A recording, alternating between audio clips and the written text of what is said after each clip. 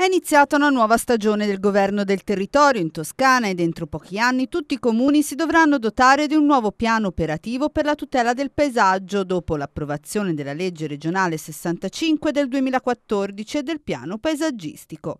Di tutto questo si è parlato nell'incontro La nuova stagione del governo del territorio, un percorso di confronto con i comuni organizzato dalla regione in collaborazione con ANCI a Livorno al Cisternino di città.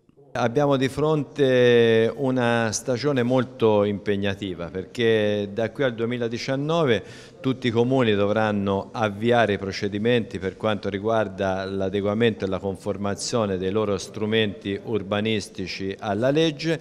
Ci aspettiamo eh, circa eh, 150 piani strutturali che dovranno essere avviati e 200 piani eh, operativi. Il piano paesaggistico è uno strumento molto complesso eh, messo in campo dalla Regione Toscana su cui anche noi come ANCI ci siamo impegnati molto sulla formazione perché eh, essendo appunto uno strumento articolato, difficile, eh, c'è stata necessità di formazione sia per i, i professionisti delle amministrazioni che anche per i professionisti esterni. E quindi abbiamo cercato di come ANCI di divulgare il più possibile questo strumento in modo da farlo entrare a regime.